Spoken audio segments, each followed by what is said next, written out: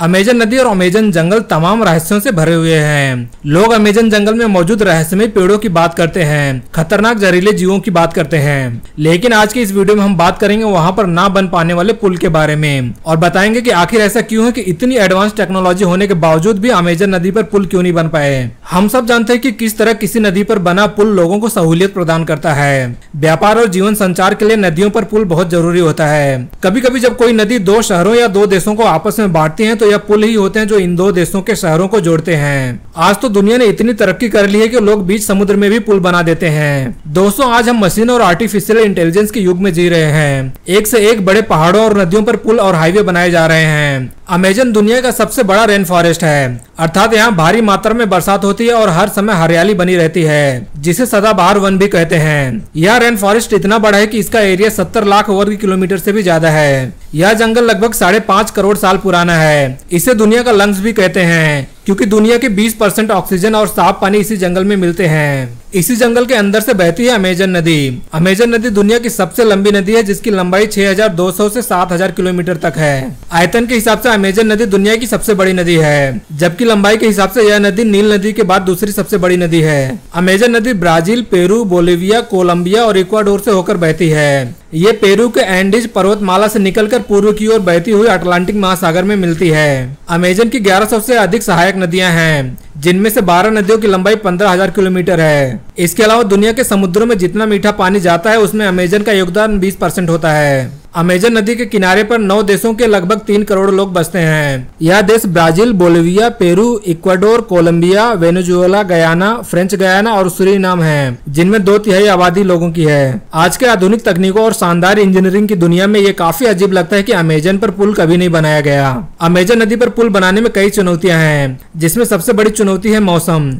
क्योंकि शुष्क मौसम में नदी इतनी चौड़ी नहीं होती कि उस पर पुल बनाया जाए। लेकिन जैसे ही बरसात का मौसम आता है तो नदी का पानी 30 फीट तक बढ़ जाता है और तीन मील की क्रॉसिंग 30 मील की हो जाती है। अमेजन नदी के साथ दिक्कत यह है कि यहाँ जब बारिश होती है तो यह अनुमान कोई नहीं लगा सकता कि कौन सा किनारा बचेगा और कौन सा डूबेगा।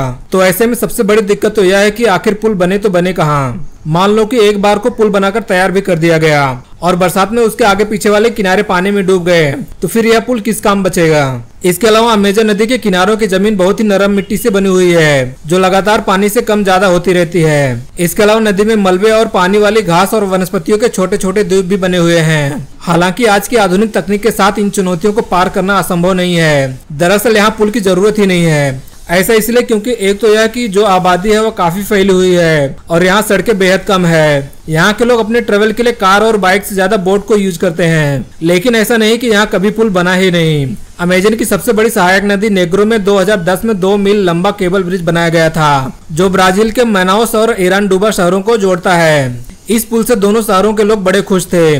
वैसे यह पुल अमेजन के मेन रीजन में नहीं था, इसलिए यह एक पॉजिटिव कदम ज़रूर था। लेकिन इस पुल ने जहाँ एक तरफ़ दुनिया को हैरान कर दिया था तो दूसरी तरफ़ एनवायरमेंटिस्ट को निराश भी कर दिया था। रिसर्चर्स का यह मानना है कि पुल के साथ साथ जंगल में विकास पहुंचेगा, जिससे जंगल में पेड़ कटेंगे और पानी भी प्रदूषित हो जाएगा। अमेजन जंगल दुनिया को 20 परसेंट साफ़ हवा देते हैं, और अमेजन नदी दुनिया का 20 परसेंट साफ़ पानी भी देती है। इससे वह दोनों खराब हो जाएँगे। और दोस्तों, अब आप समझ गए होंगे कि आखिर क्यों अमेजन नदी पर आज तक पुल नहीं बना। दोस्तों, अगर आपको आज का वीडियो अच्छा लगा तो इसे लाइक करके चैनल को सब्सक्राइब कर लेना। और आप यह वीडियो कहाँ से देख रहे हैं, हमें कमेंट में ज़रूर बताना।